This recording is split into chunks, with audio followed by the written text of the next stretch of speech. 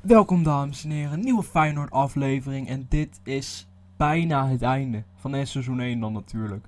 We staan nog steeds op plek 2, we staan 7 punten achter op PSV. Ja, dat kan nog ingehaald worden, maar dat wordt wel lastig, want PSV is ongelooflijk in vorm. Het is niet normaal. En tegen NEC, oh oh oh. ik was niet scherp vandaag, ik heb een tentamen gehad, het was erg pittig. Ik was mijn tas kwijtgeraakt, ik in de trein laten staan en ik was gewoon even niet bij mijn gedachten. En dan ongelooflijk dan gebeurde dit. En ik dacht echt, wow, wat gebeurt hier jongens? Amieux, die gaat langs één verdediger, die kapt prachtig naar binnen. En een geweldige knal in de verre hoek. Vijfde minuut 1-0 voor NEC. En ja, dan moet je wat doen. Dan moet je een reactie tonen. Tonen waarom je tweede staat. En hier zo, bal bij Benzia. Benzia naar Vilena. Dan naar Locadia. En dan moet je hierop letten. Nelom heeft de bal. Nelom heeft alleruit perfecte voorzet.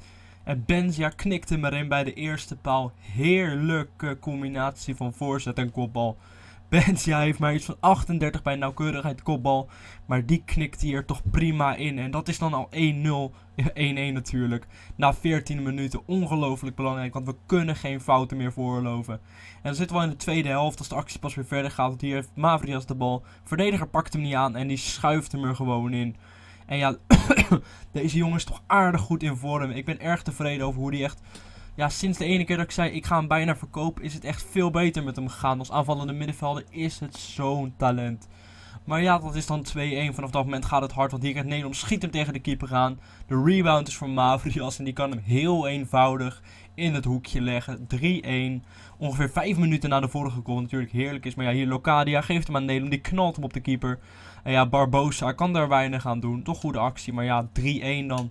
En ja, dan is het nog niet klaar. Want ja, hier zo Mavridas krijgt de bal bij Locadia. Prachtig gezien die bal. Locadia's eerste adem is niet geweldig, maar behoudt de bal. En die legt hem heerlijk in de verre hoek. Barbosa ziet er niet goed uit bij die goal. Maar dat maakt niet uit, want het is 4-1. En dat betekent de 20ste competitiegoal van Locadia. Hij is topscorer van de competitie, mensen. En het wordt echt een hele grote. Geloof mij maar. Maar deze wedstrijd hebben we nummer 4-1. Misschien iets wat geflatteerd. Want NEC was zeker niet slecht. Maar ja, we waren op het eind gewoon dodelijk met de kansen die we kregen. En ja, dan moet je gewoon niet doen tegen ons. Want ja, we hebben zo'n goede aanval. En dan weet je dat je kansen gaat krijgen. En dan weet je dat je doelpunten gaat maken. Maar ja, goed. De volgende wedstrijd. De belangrijke wedstrijd tegen FC Twente. Ze staan iets onder ons, net als AZ. En we mogen echt geen fouten meer veroorloven. Het moet minimaal een punt gehaald worden tegen Twente. Het mag niet anders. En ja, op slag van rust gaat het hier ongelooflijk. Want Tadic speelt prachtige wijze Ramos vrij. Vormer kan hem niet aanpakken. En Ramos maakt dat dan heerlijk af. Prachtige spitse goal. Laat, gebruikt zijn kracht. En ja, wint daarmee het duel. En die schiet hem dan in de lang hoek. En ja, dan moet je een reactie tonen. Ongeveer een kwartiertje in de tweede helft. Heeft Vormer hier de bal. Vormer legt hem terug op Arshabar. En die schiet hem uitstand met zijn zwakke been in de rechteronderhoek. 1-1 in de 57ste minuut. Ongelooflijk belangrijke goal van Arshabar. Want we, zoals ik al zei, we kunnen hier geen fout veroorloven. En dan is zo'n 1-1 natuurlijk heerlijk. Ja, voor je vorm. Je denkt dan terug te komen. Ja, hier zo ongelooflijk stom. Ramos krijgt de bal. Hij komt terug bij Rosales. Rosales krijgt bal Castanjos. Castanjos naar Tadic. Tadic naar Biassi. En Biassi legt hem er dan in. Ongelooflijk erg baalde ik op dit moment. Het was niet normaal. En dit betekent dat we 2-1 verliezen tegen Twente. Asjerbal was de enige die echt een hoog niveau haalde. En de rest was echt, echt teleurstellend. Het kan echt niet zo. En dan is de volgende wedstrijd ook nog eens tegen Ajax. En als we hier verliezen, dan gaan we naar de derde plaats. Dat staan we op dit moment al omdat we een wedstrijd minder hebben. maar goed, ja, we, moeten hier, we moeten hier de echte drie punten pakken. Ik verwacht niet anders. En ja, het begint allemaal vrij positief. Want na ongeveer 30 minuten, ja, we spelen een beetje de bal rond. Ik, ik dacht een goal te gaan maken uit die counter. En dan is er opeens Siem de Jong geblesseerd. Dus ik vond dat best wel fijn natuurlijk. Siem de Jong ongelooflijk sterk in FIFA 13. Met zijn kracht, met zijn loopvermogen. En hij kan goed schieten. Dus ik dacht, nou, dat komt wel goed. En aan de 72 ongelooflijk slecht verdedigd van de Vrij. Hoesen is er dan door. 1 op 1 met de keeper. Schuift hij hem onderdoor.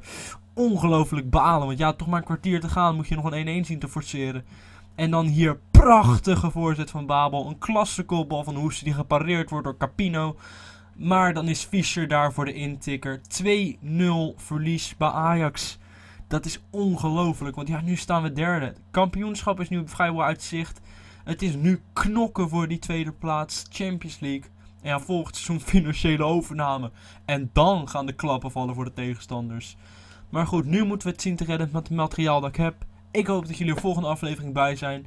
Laat alsjeblieft diezelfde support zien. Iets van 10 likes zou echt fantastisch zijn.